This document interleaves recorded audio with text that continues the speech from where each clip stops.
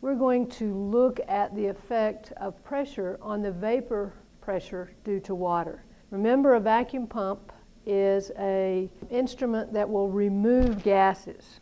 Here you have the O-ring that's going to make a seal. We have water with a thermometer. We're going to make a closed system.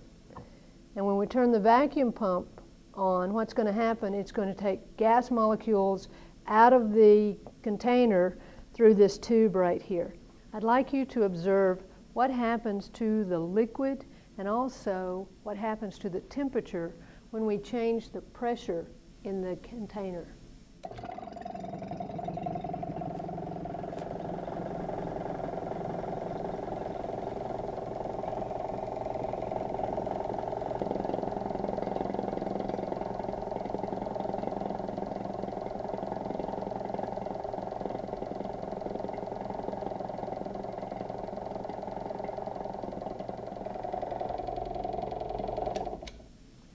So you should see that water boils and it's still only about 70 degrees Fahrenheit.